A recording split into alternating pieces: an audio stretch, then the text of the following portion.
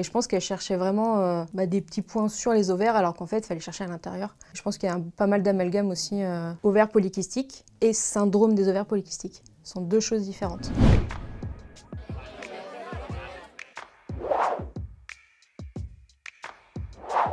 C'est une pathologie endocrinienne qui est un dérèglement euh, hormonal qui s'effectue au niveau des ovaires et au niveau du cerveau, qui entraîne beaucoup de, symptômes. Le dérèglement hormonal euh, va surtout toucher quelques hormones dont la testostérone, ce qui va engendrer l'accumulation de follicules dans les ovaires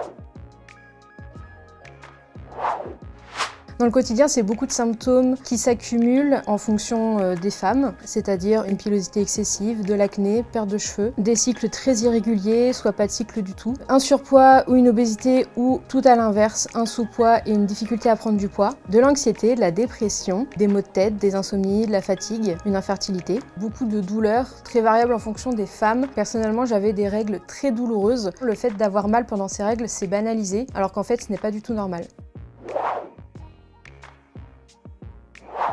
J'avais jamais entendu parler du SOPK avant de diagnostiquer. J'ai été diagnostiquée à l'âge de 17 ans, ce qui est euh, une chance car généralement le SOPK se diagnostique beaucoup plus tard que ça. Ma mère m'a envoyé euh, consulter le médecin de famille parce que j'étais en surpoids. On s'est pas trop inquiété des autres symptômes que j'avais. Le médecin de famille m'a euh, fait faire une prise de sang qui a été mal faite, puis m'a envoyé vers une première endocrinologue qui m'a fait faire une échographie, mais aucun kyste follicules n'ont été trouvés. Je pense maintenant que en fait, la personne cherchait des vrais kystes Sauf que du coup, il n'y en avait pas, mais j'avais effectivement un nombre de follicules assez important euh, dans chaque ovaire. Donc du coup, le, diagnostic n'a pas du tout été posé tout de suite. Nous sommes allés voir une autre endocrinologue et c'est avéré que j'avais bien le syndrome des ovaires polykystiques.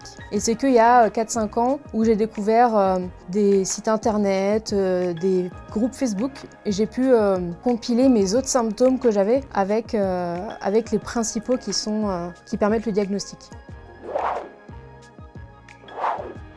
Il y a une grosse errance médicale, on parle d'environ 7 ans, un petit peu comme l'endométriose, car généralement quand les symptômes apparaissent c'est à l'adolescence. Les symptômes de diagnostic sont généralement des, symptômes d'adolescence, acné, cycle irrégulier au début c'est un petit peu normal, et eh ben le médecin va généralement euh, mettre euh, sous pilule ce qui va camoufler les symptômes et retarder le diagnostic de plusieurs années. Et la personne quand elle voudra avoir des enfants arrêtera cette pilule et les cycles ne reviendront pas, les symptômes reviendront euh, assez euh, fortement. Et c'est généralement à ce moment-là que les personnes seront diagnostiquées.